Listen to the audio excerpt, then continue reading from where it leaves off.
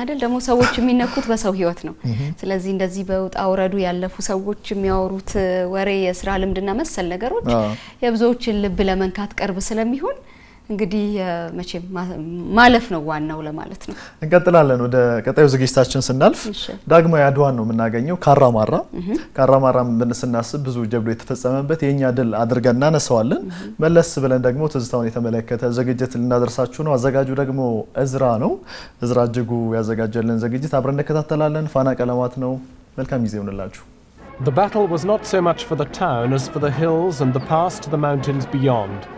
Jigjiga marks the gateway to the highlands, controlling the only road to Hara and the Ethiopian capital of Addis Ababa beyond. በወረሃ ሐምሌ 1969 ዓ.ም የዚያድ ባሬ መንግስት ግልጽ ጦርነቱን ኢትዮጵያ ላይ ባወጀ ማግስት አሜሪካም ለዚያድ ባሬ ክንዷን ዘረጋች። ኢትዮጵያ የመከላከያ ኃይል ተደጋጋሚ ቢፈተንም ባልበገር ባይነት ውጊያውን ቀጠለ። የዚያድ ባሬ ጦር በሲዳሞ፣ በባሌ፣ በጅጅጋ፣ በኦጋዴን እንደዚሁም በዘጠኝ አውራጃዎች ዙሪያ ከበባውን አጠናከረ። በፍጥነትም ተንቀሳቀሰ። በጊዜው የሶማሊያ ጦር የማረካቸውን ኢትዮጵያውያን በተለይ ቀብሪ ዳሃር የተያዙትን ከሞቃዲሾ በ25 ኪሎ ሜትር ርቀት ላይ ወደሚገኘው ደናኔ እስር ቤት አጋዛቸው። የታሪክ መዝገብ ሁሉ ላበሰረ የጀግና ደማስንቱ መሰከረ የነገር ቁልቁል ብሎ ሴራ ከሸፈ ታሪክ በሬው ጭቋ በራ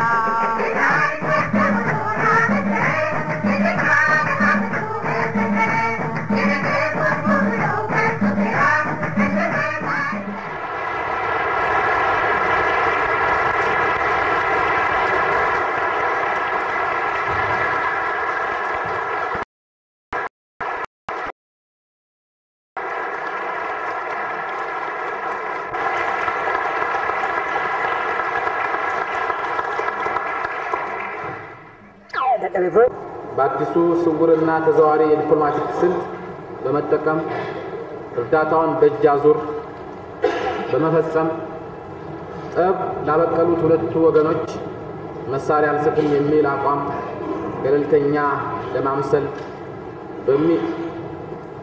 ገለልተኛ ለመምሰል ተሞክሯል። በዚህ መጋረጃ በመጠቀም የአሜሪካንና የቅዠታሙ የሶማሊያ መንግስት ተባባሪዎች የሶማሊያን የመሳሪያ ጥያቄ ካላቸው ክምችት እያሟሉ ወይም ሲያሟሉ የጎደለው የእነርሱ ደግሞ በእንደዚህ አይነት ዘዴ የአሜሪካን መሳሪያ በሳውዲ አረቢያ፣ በኢራን፣ በፓኪስታንና በስፔን እንዲሁም በሌሎች አዳሪ የአረብ መንግስታት በኩል ይህ ሆኖ ሳለ የአሜሪካ መንግስት አውቆት ነው ወይ የሚፈጸመው የሚለው ጥያቄ የአሜሪካን አስተዳደር ከደሙ ንጹህ ነኝ እያለ በደም የነከረ እጁን ለመሸፈን የሚያደርገው ግብዝነት ግምት በመስጠት የተጠየቀ ይመስላል። የአሜሪካን መንግስት እየደጋገመ ለማስተባበልና ለማሳሳት የሚያደርገው ከንቱ ሙከራ በተባባሪዎቹ በኩል አልፎ አልፎ ሚስጥሩ ስለሚያመልጥ መጋለጡ አልቀረም።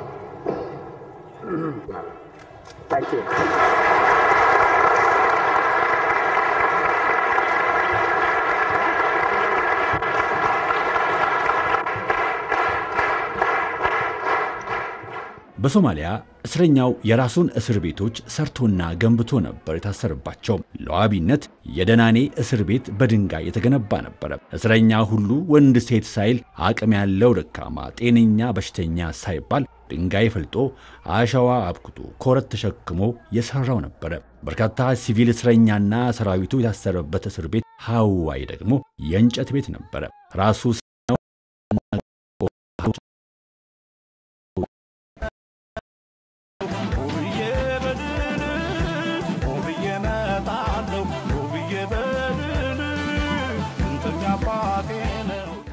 አብዛኛው ለእስረኛው ተብሎ የሚመደበው ነገር በሙሉ ከላይ እስከታች ባሉ ባለሥልጣኖች ይመዘበር ነበረ። በእስረኞች ስም በእነርሱ ረሃብና ጉስቁልና ባለሥልጣኖች ከብረዋል። ያኔ ለእስረኞች ሲሰጣቸው የነበረው ምግብ ከሆድ ሲደርስ የሚያስከትለው ጉዳት እንጂ የሚሰጠው ጥቅም አልነበረም። በዚህም ታሳሪው የተለያዩ ከባድ ሕመሞች ተዳርጓል። ኢትዮጵያውያን የዛሬ 43 ዓመት ከታሰሩበት እስር ቤት አንዱ መንዴራ ይሰኛል። መንዴራ ከሀርጌሳ በግምት 50 ኪሎ ሜትር ርቀት ላይ የሚገኝ ሲሆን በእንግሊዞች የተሠራ ነበረ። ከፍተኛና አደገኛ ወንጀለኞች እንደዚሁም የዕድሜ ልክ እስራት የተፈረደባቸው የሚታሰሩበት ቦታ ነው። ገና የእስር ቤቱን በሮች አልፎ ሲገባ ወደ መቃብር ጉድጓድ የወረደ ያህል ነበር የሚሰማው።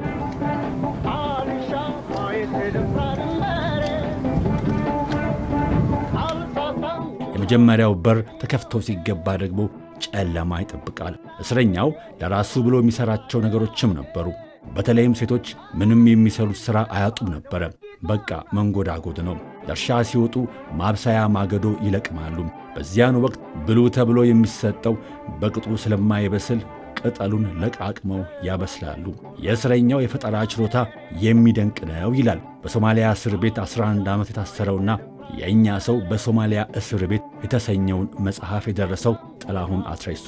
ጥላሁን በመጽሐፉ ላይ ሐሳቡን ሲያብራራ የእስረኛው የፈጠራ ክህሎት ድንቅ ከመሆኑ የተነሳ ከምንም ነገር አንድ ነገር ይሠራል ይላል። ታሳሪው እንጨቱን በጠርሙስ ስባሪ ይሰረስርና እንደዚሁም ይፍቅና መናኛ ቆርቆሮ ጠፍጥፎ ማንኪያ ይሠራል። ከማዳበሪያ ከረጢት በእጅ የሚሠራ ያማረ ቦርሳም ይሠራል። ከሦስት ሺህ በላይ ኢትዮጵያውያን በታሰሩበት ሶማሊያ እስር ቤቶች ታዳጊዎችና ሕፃናት ስለነበሩ የእስር ቤት ትምህርት ቤት ተመስርቶ ነበረ። በእነዚህ እስር ቤቶች ውስጥ እንደ ዶክተር ጥበቡ ኃይለሥላሴ፣ ገጣሚት ከበረች ተክለአብ እንደዚሁም ጥላሁን አትሬሶ ያሉ ታሳሪ መምህራን ተማሪዎችን ብቁ ለማድረግ ይደክሙ ነበረ።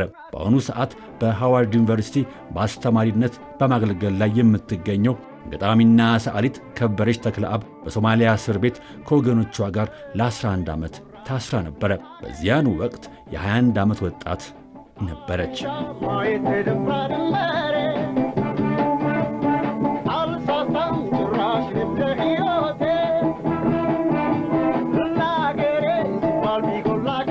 ስለ 11 ዓመት የኢትዮጵያውያን የእስር ቤት ሕይወት ስናነሳ አንድ ሰው በቀዳሚነት እናነሳለን። በጊዜው በምስራቁ የአገራችን ክፍል ስመጥሩ ከሆኑ ሐኪሞች አንዱ ነበሩ። እርሳቸውም ዶክተር ጥበቡ ኃይለሥላሴ ነበሩ። እኚህ ዶክተር እንደ እስረኛ ብቻ ሳይሆን እንደ አባት በወቅቱ በታሰሩ ሰዎች ዘንድ የሚደነቁ ነበሩ። በተለይም የእስር ቤት ክሊኒክና ትምህርት ቤት እንዲከፈት የሰሩ ታላቅ ሰው ስለመሆናቸው ይነገራል። ጥበቡ የምድረ በዳው እረኛ በሚልም ግለ ታሪካቸው ከ10 ዓመት ቀደም ብሎ ታትመው ነበረ። ዶክተር ጥበቡ ሕይወታቸው ያለፈው በ2004 የዛሬ 7 ዓመት ነበረ። እኔ ሰው ሀሳቡን ሁሉ እንዲገልጽ አምናለሁ። ግን ሰው ሁሉ ሀሳቡን ደግሞ በአንድ መድረክ ላይ ላይገልጽ ይችላል። የእኔ ሀሳብ የሚገለጽበት መድረክ እውነት ሲባል እኮ ብዙ አይነት እውነት አለ። የሚገድል እውነት አለ፣ ሕይወት የሚሰጥም እውነት አለ። አብረን የኖር ነው። በእስር ቤት ብኖርም የተጎዳነውን እየተጎዳን ህዝቡ ደግሞ ሊጠቀምበት የሚችለውን ነገር እየፈለግን ያንን capitalize እያደረግን የኖር ነው። በብዙ ትዕግስት አልፈናል። በዛ ባለፍንበት ትዕግስት ደግሞ በእውነት ብዙ ነገር እግዚአብሔር አድርጎልናል፣ ታድጎልናል። በተማረክን ወዲያውኑ ሰው እንደው በሶስት ወር ውስጥ እንወጣለን ብሎ ሲያስብ እግዚአብሔር ቢፈቅድ በሶስት ወር እንወጣለን። ደግሞ በሶስት ወር ባይሆን በስድስት ወር ይሆናል። በስድስት ወር ባይሆን ደግሞ በአመት ይሆናል። በአመት ባይሆን ደግሞ በአምስት ዓመት ይሆናል። በአምስት ዓመት ባይሆን ደግሞ በአስር ዓመት ይሆናል። የሀገር ፕላን እንኳ ሲወጣ የመጀመሪያ አምስት ዓመት አስር ዓመት የተባለ ነው የሚወጣው ብዬ ስል በቃ ሰዎች አይረዱ ምነካው ይሄ ሰውዬ ይሉኝ ነበረ። ኢትዮጵያውያኑ በሶማሌ እስር ቤቶች በታሰሩ በሰባት ወሩ የኢትዮጵያ መከላከያ ሰራዊት ካራማራ ላይ አዲስ ታሪክ ለመስራት ላይታች እያለ ነበረ። የካቲት 26 ቀን 1970 በምስራቁ ኢትዮጵያ ሞቃታማ ቦታዎች ባንዱ ካራማራ የእሳት አሩር የሚተፉና የጦርነት ነጋሪት የሚጎስሙ ድምፆች ከምድር ከሰማይ ተደባለቁ።.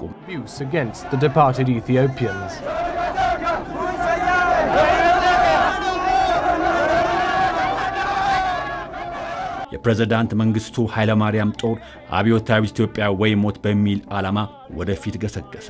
የሞት ሽረት ትግል በካራማራ ሰማይ ስር ሆነ። ታላቋን ሶማሊያን የመመስረት ራዕዩ ጫፍ የደረሰ የመሰለው ፕሬዝዳንት ዚያድ ባሬ በመጨረሻም በዚህች ዓለም ምንም ቋሚ የሆነ ነገር የለም ለማለት ተገደደ። በምስራቅ ኢትዮጵያ የወጣች የመሰለችው የባሬ ፀሐይ መልሳ ስልጣን ለመሆን ያቀደላትን ሶማሊያም ከሁለት አስርት ዓመታት በላይ ላላባራ ጦርነት ከቷት አለፈ።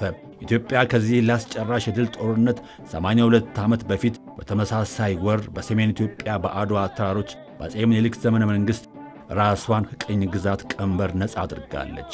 በምስራቁ የአገሪቱ ክፍል ደግሞ የዛሬ 43 ዓመታት የካቲት 26 ቀን 1970 ዓ ም የዚያድ ባሬን ወረራ በመመከት ዳግም የነፃነት ድሏን በካራማራ አስመዘገበች።